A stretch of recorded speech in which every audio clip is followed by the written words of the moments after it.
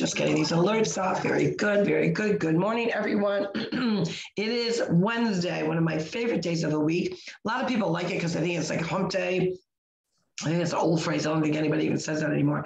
But anyways, good good morning, everyone. Today is Wealth Wellness Wednesday. This is Carol Sue, aka Naughty Boss, live with two sisters. Hey, it's Janis, aka Wellness Diva 5.0, and I just ooh notice that I'm having a really bad hair day and yes, I'll be getting my hair done at some point after my trips back and forth to Philly. But anyways, I want to share, you know, I'm a history buff. I'm kind of a nerd with all that stuff. And I want to share this day in history on March 30th, 1981. It is the 41st anniversary of when President Reagan um, was shot. Wow. 41 years.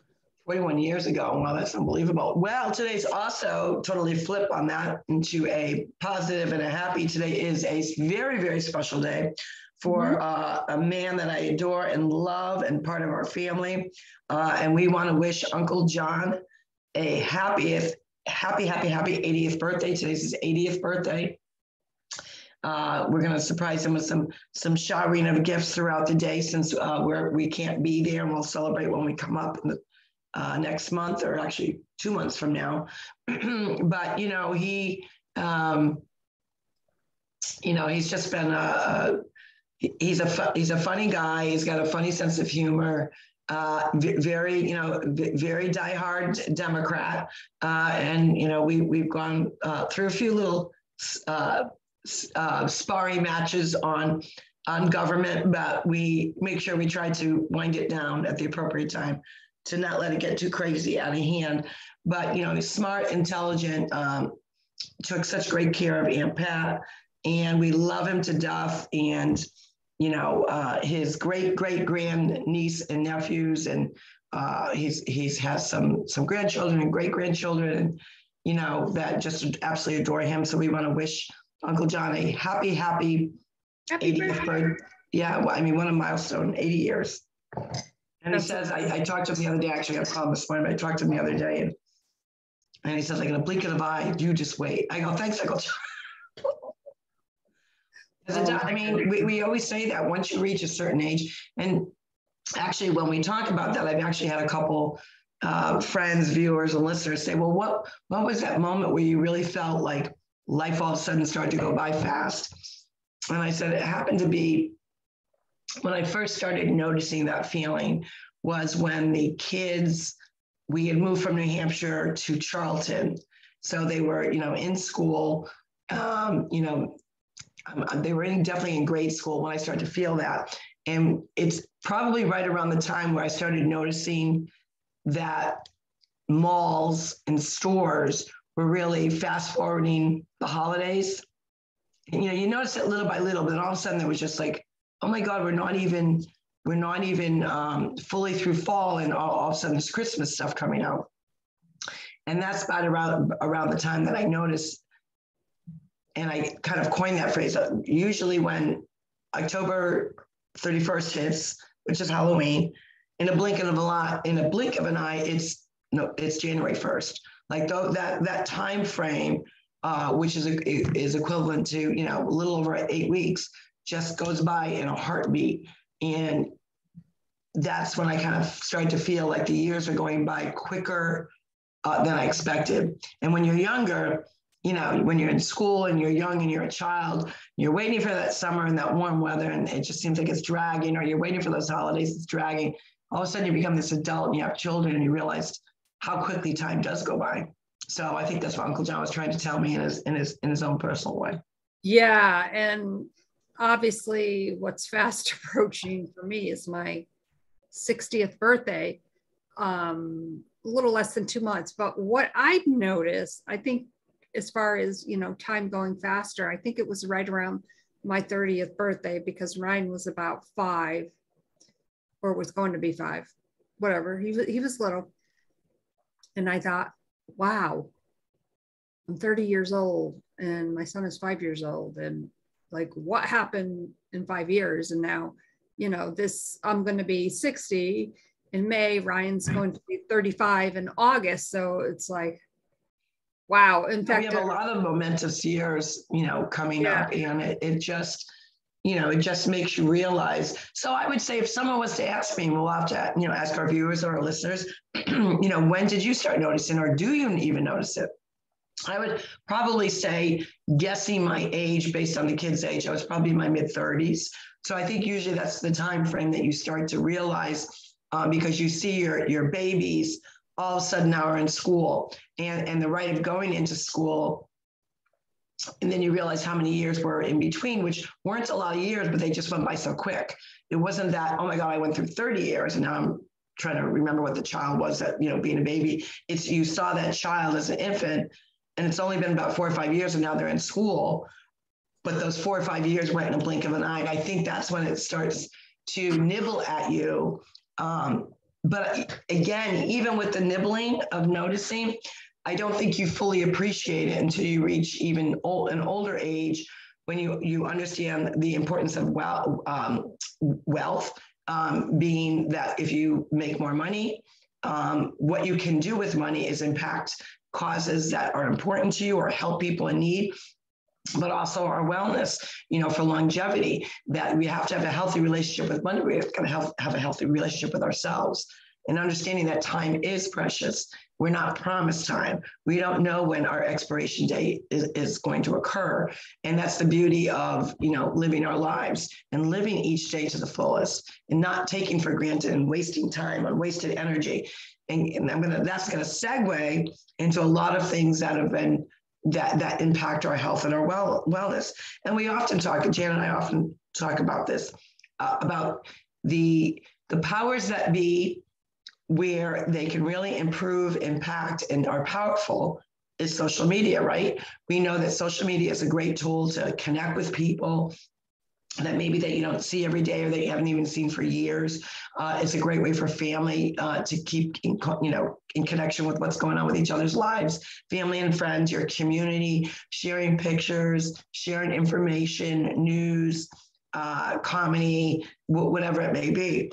Um, but there's a there for every powerful positive force, there's also a very powerful negative force. And what we've been seeing, and it's it's been probably going on for a, a while, is people have eliminated conversation in person or or talking and spending quality time because time does go by so quickly that they choose to to take out their debating or whatever you want to call it behind a keyboard. And you use a powerful piece a powerful tool of time when you do that. Because like jan always talks about you know looking at your phone right? And finding out how many times you've been scrolling the minutes that you've spent. And could you have used that time more wisely? What do you say to that jan well, using our time more wisely has always been, um, you know, even before social media. But the fact that we have a, a digital device um, everywhere we go, and of course, you know, that has brought up artificial artificial intelligence, which I won't get into right at the moment. But you know, think of, for instance, I have my books. I have desk books and you know i'm not going to say that i my um, digital eyes wander like oh look at that notice or look at that ad come up. You know let me look at that real quick. And then you get sucked into that vortex. So i've made it a clear habit for myself to set boundaries from this time to this time. I am doing this particular work um, every hour I get up, take five minutes, and I'm, you know, exercising or doing something. Um, you know, every now and then, like I said, I do pick up my device. I, you know, it's unfortunately a natural habit, but I I control that. So there's so many different ways to look at it, and and all I have to say is, you know, if you feel that you have to be the keyboard philosopher and comment on emotions versus the truth like there's always there's always a stepping ground to be misunderstood. That's why, as much as I want to respond to something, and I have it here and there, um, I don't because it's not, in the end, it's just not worth my energy. Right, because I mean, time time is so short, and and we know that with uh, typing a message or, or typing a response to something on social media, you do not hear the person's inflection. You don't you don't hear their passion. You don't hear their voice. You don't see their body language.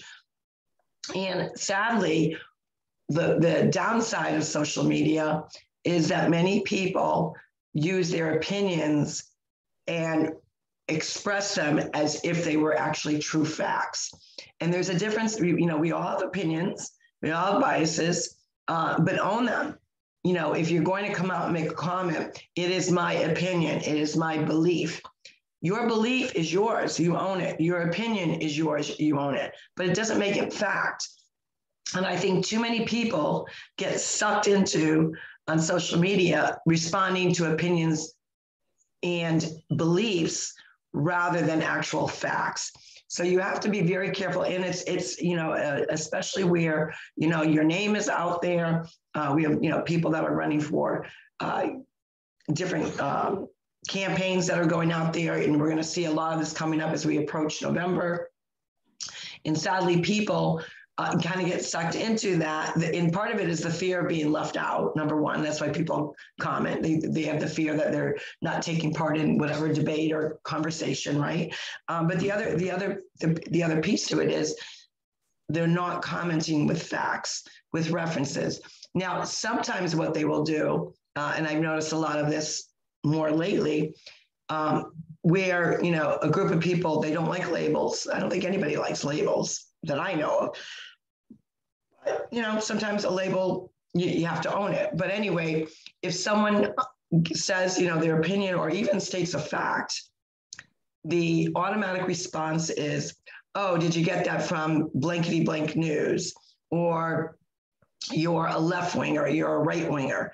Instead of saying, you know, I'm an American, uh, that's what I am. And this is, you know, th- this is what I've read. Um, I, am open-minded to hear this media's opinion. Um, and if there's are actual references that I can go look up to discover whether this is factual or not, that's on me. Um, but to automatically assume because someone has a different belief or a different opinion, and instead of saying, oh, I didn't look at it from that way, or now I understand where you're coming from, and then asking maybe a factual question to see whether it's fact or not, you, you throw them under the bus right away. Oh, you're, you know, you're this, you, you follow this news network. So it's whatever. So you're not really having a healthy discussion anyways. So I say, again, time goes by too quickly. Why waste your energy and time? If you're sharing, uh, you know, that you're sharing your your campaign platform, of course you want to get out that out there. Um, you know, make sure that it is is backed by facts and or these are the things that I notice, like do it in a bullet point. Bullet point to me is probably the easiest way to get a message out there. Um, you know, th- this is based on a fact. This bullet point is what I know to be true that has been going on. I would like to change it for the following reasons. You know, there's a rhyme to a reason to do that without getting into that kind of debate. And so, you know, I, I hope people are, are first and foremost kinder on social media. Stop jumping on the gun and jumping on people. That solves nothing. You know, and it's okay. Like I said, it's okay to debate. It's okay to have that conversation. But if you're debating someone's opinions or beliefs, what is the point? Because they they own them. They're theirs. And guess what? Debating on social media is not going to change somebody's mind. I mean, it's not. What's going to change someone's mind is factual information that's going to impact their their their reason for whatever their issue or what they want resolved within a certain situation is going to be. Yeah, and the the other thing that brings to mind as far as that goes, um, and I'm going to keep try to keep it as generalized. I think people are going to understand exactly what I'm talking about, sure. and you'll understand when I start. So, three people are up on a stage they make reference to, and now the viewership we know has dropped dramatically, but they made made reference to a certain bill that was just passed in Florida, Oh, yeah. a certain word that's not even in the the bill. What I have a problem with are those three people who that is their opinion, yet all these people watching them say are under the impression, oh my God, I can't believe that, you know, the governor of the state of Florida would sign such a bill when the word that they are referencing and everybody's clapping about after they did their little stint is not even in the bill. That's the problem with the social media. It yeah, and funny, funny. I got to interject. I'm going to interject for a second, then go right back to what you were saying. Funny that you mentioned that. I was out to dinner last night with uh, two other couples, great couples. We always have lots of laughs, and that subject matter did come up. And one of them said, "Well, you know, they shouldn't have put that. They shouldn't have said what is the line? Um, well, I can't. What's the exact something gay? I don't know what it was. Uh, something about uh, don't say Don't- don't say say- the gay bill. Yeah, exactly. So, and I looked and I said, "You realize that's not in the bill?" And she said, "No, it is in the bill." And I'm like, "It's it's not in the bill. Read the bill." And you know, she she didn't know. So that's the point: is people get sucked into, but not doing their due diligence to actually read the bill. If you read the bill, you would absolutely know that it's not in there. So, and that was never the intent. That was it has to do with you know uh, what ideologies are being brought to the classroom, and he's putting a squash on that, and rightfully so. I don't understand, and and there that has support from both ends. Um, there are a lot of Democrats that don't like uh, politicizing children. There are a lot of Republicans. There's a lot of independents that don't like politicizing children. And that's the point of the bill. It's nothing to do with the other. Um, but you get a few people that, you know, it's almost like, uh, what's that thing, uh, calling fire, you know, in a crowded room. Uh, Right. you can't do that, but they certainly get away with doing it and people get sucked into, believing. So sorry, I had to interject that. No, that's okay. But you know, and the moronic part of that was when they showed the audience and certain, you know, stars. Like you look like a flippin' moron, and that's all Yeah. the credence that I'm gonna give to that shenanigans. I think it's total BS. And Right. you know, to prove my point, obviously you're out with the with your friends who one person thought that word was included and it's not people. It's not. So all I can say is absolutely do your dil- due diligence and go look that bill up. You'll see Yeah. that it's not in there. and actually read it. Actually read it. Uh, it's something that a lot of people don't bother doing. They'll either skim through something and only t- uh, certain pieces they remember. Read the entire bill to understand what the bill is about. And again, stop spreading false information that is not factual, Right. which social, media does all the time. Media Well- outlets do it all the time. And sadly, a lot of people are uh, on the uh, curtails of social uh, of media outlets doing the same thing spreading false information. You know at least identify whether it's your opinion and be postured in your opinion. Don't be wishy-washy if that's what, if, that- if that's your opinion that's your belief stand your ground. Um, but if it's not factual be prepared for somebody that's going to bring out the facts and counteract what you're saying. And it's not to like i told you so. It's more about educate yourself you know Right. i understand why you believe this. However if there's facts that disprove what you believe that should be an I, oh i didn't know that. And it's okay to say i didn't know that. And so so so many people i think are so afraid to say i'm wrong. I didn't know that. Oh my god how could i not know that? I wish i knew that. Oh i sound like a buffoon now. You know use some comedy if you have to. Like if you can't make fun of yourself for not knowing something gotta lighten up people because that's going to do better for your wealth wellness wednesday that's going to help you out That's right. And it just goes to show the type of person that you are, that you have the integrity, you have the audacity to stand on your ground and own it. And as another segue, I just want to mention another thing about that evening, what happened the other night, which I think is um, kind of ironic. A lot of, you know, obviously, I'm not going to give it a lot of credence, but a lot of chit chat going on the last few days. But what people don't realize, and here's another thing you need to look up, and I saw and I heard it, somebody mentioned it, and I did my due diligence, was a few years ago, um, the person who was slapped the other night did the exact same thing thing to somebody else.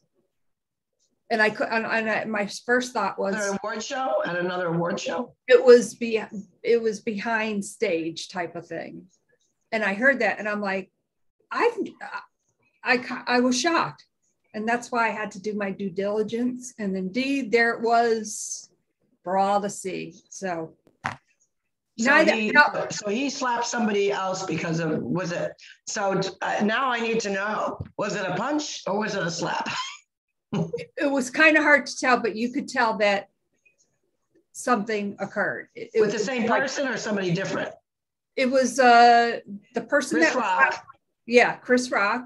And who yeah. He was the one doing the slapping. Yeah but who did he slap? Or punch?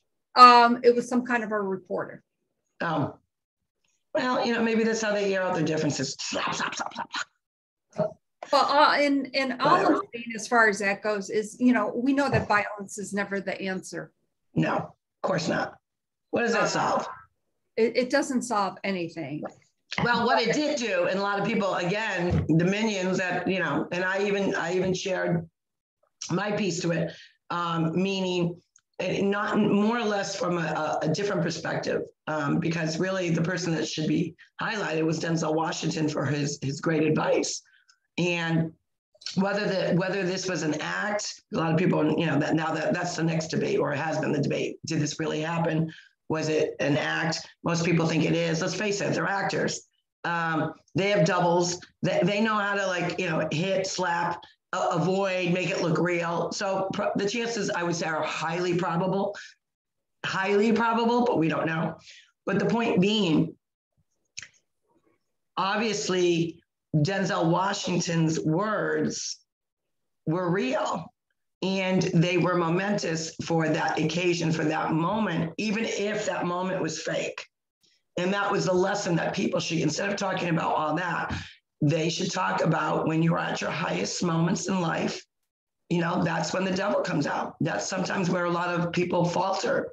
You know, they they they reach that pivotal moment in their career or their profession or personal life, and all of a sudden they get a little too kind of hot for their britches and something they do something stupid say something stupid do something that is not nice and that what makes your great moment now turn into a bad moment or a uh, or a uh, deciding moment that changes the whole trajectory of why you were up here. They don't remember now why you were up here. They're too focused on why how you fell and how you faltered and, and where it could have been prevented.